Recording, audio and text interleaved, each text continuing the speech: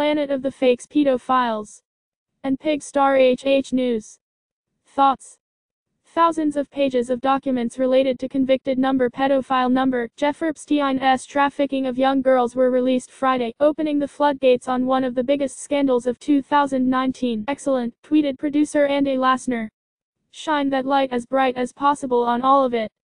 The documents PDF PDF PDF, which were still being published at press time, detail years of abuse from Epstein and an alleged wide-ranging conspiracy spanning multiple countries and states, involving powerful people around the globe.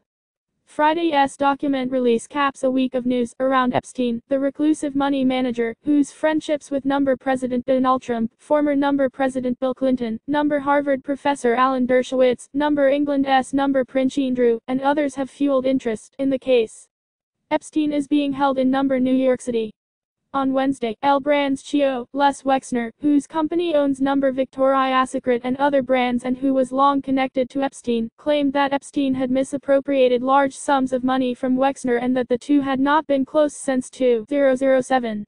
We discovered that he had misappropriated vast sums of money from me and my family, Wexner wrote in a letter to his charitable number Wexner Foundation community.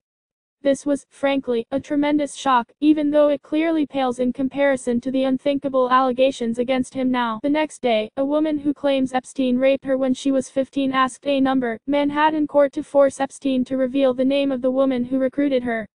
The recruiter's identity is needed, lawyers for Jennifer Araoz argued, because Araoz wishes to include her in a suit against Epstein. The order came from the Second Circuit Court of Appeals in July, as Courthouse News reporter, Adam Klasfeld reported at the time.